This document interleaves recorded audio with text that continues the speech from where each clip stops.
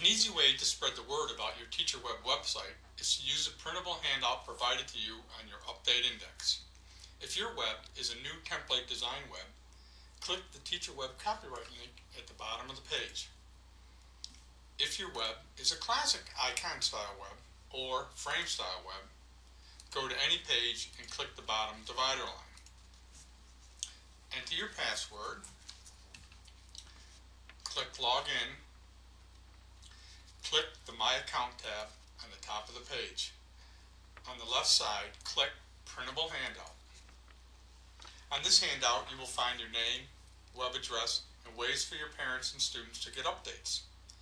MyTeacherWeb.com, RSS feeds, and news flashes are all great ways to keep your parents and students connected and up to date with your site. When you are finished printing, remember to go back to your account page.